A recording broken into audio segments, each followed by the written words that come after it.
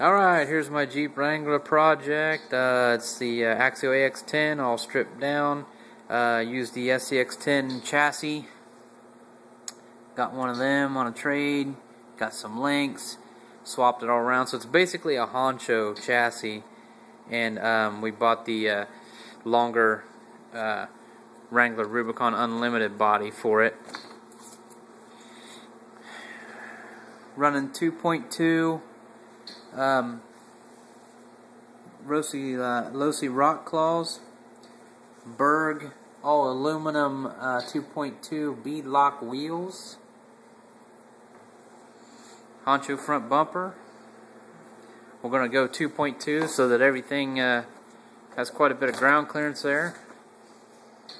Custom vinyl cut Fox Racing sticker for the back glass rear spare tire. Don't worry, we're going to cut that bolt off, paint it black, all the good stuff.